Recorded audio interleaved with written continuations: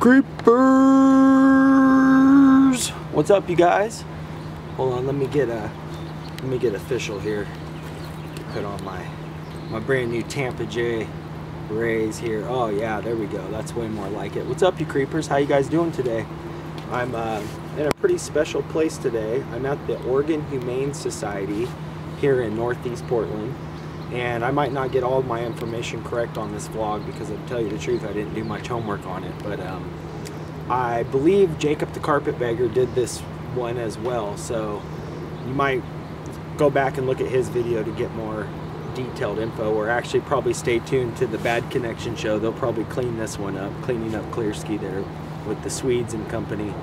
But uh, I just wanted to show you guys this really cool little kind of roadside obscure attraction uh, here in Portland. Um, like I said, I'm here at the Oregon Humane Society, but to get you guys a better look, and I'm not gonna make this vlog very long today because it's raining out and I didn't bring my umbrella or my, you know, cover for my camera, but I'm at the animal cemetery and if you guys pan over here to the left, we've got the the actual memorial slash grave of Bobbie of Sil Silverton, which was Bobbie the Wonder Dog.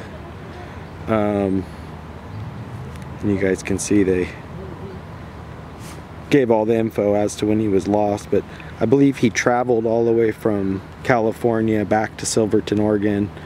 Um, it was it was headline news back then, but they couldn't find him. But the poor guy ended up traveling a lot and uh, he made his way back but this is the little actual doghouse that they designed for him and ode to him and as a memorial as a little headstone kind of thing. So instead of just a regular grave site they actually gave him a little home that he resides in um, which I thought was really cool you know it's a really special thing. I lost my one of my pit bulls last summer and it's a really hard thing. So uh, you know, anytime like Dave was saying the other day on the Camo Dave channel, you know, anytime you lose somebody or an animal or anybody, it hard. It's hard. It never gets better, you know. So I kind of wanted to give you guys a really cool look of his grave, and um, I'm actually going to go around here.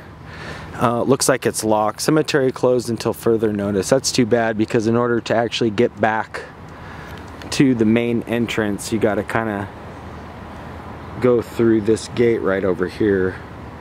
Um, and I didn't I didn't ask if I could come through so I'm just gonna leave it at that because it is raining and I don't really want to get mucky and, and wet in this Oregon rain gra in the grass and whatnot so. But that's the little memorial they did for Bobbie the Wonder Dog and if you guys look online if you google that in Silverton Oregon there's a whole lengthy story where they give pictures of actually of him and whatnot so I might be able to go around the other side. Let's see if I can go around the other side and get a better shot. But I thought this was pretty cool. You know, a lot of people come here and have a nice place to to lay their animal to rest and be able to come back and see them. So it's a pretty cool idea. And I also just thought that, um, you know, it's just kind of one of those weird, obscure attractions too that you don't really see where somebody actually would design like, you know, a, a full memorial for their for their pet. So yeah, it looks like this side's kind of blocked off too. So anyways, I'm gonna I'm gonna let you guys go and kind of keep this one a shorter one because like I said, it is raining and and whatnot. But I thought this was really cool. I'm gonna try and uh, go around front here. If you guys can see, there's like a little, two little bushes there in the gate. And if you guys can see, that's like basically a little walk-up path. They actually have like a little see if I can zoom in better. They have like a little brick path and there's actually like a little door and a little mailbox on there as well. So, all right, you guys, like I always say at the end of all my vlogs, I love you, I love you, and I appreciate you subscribing. Oh, one more thing before I go. I'm go ahead and set this down here and uh, zoom out just a little bit. And I can't really keep these out long, but it's been a while since I've gotten these and I haven't had a chance, so I've been so busy. But uh, I got some more letters, letters, letters. And uh, if you guys can see, I don't know, man. So right off the bat, you know who these are from. And uh, I'm gonna go ahead and open this up. And dude, Camo Dave right off the bat. I don't even know what's in here, but thank you, man. From the get-go, you've been like one of the number one creepers, man. You've really given my channel props, and I appreciate that big time. And uh, yeah, man, you've done a lot for me. So this is really cool to be able to exchange stickers, and I'm pretty sure that's what's in here. So either that or you sent me some money. No. Um, let's check it out here real quick because I don't want these to get rained on. Oh, sweet. Nice. Oh, you gave me the Tanky Poo one too. How how perfect for... Oh, and I got the loose skunt sticker too. All right, there we go. And uh, so yeah, we got the Tanky Poo sticker and that's pretty official for today. I think that's a a great way to open this one. I didn't realize that that was in there, so that's awesome.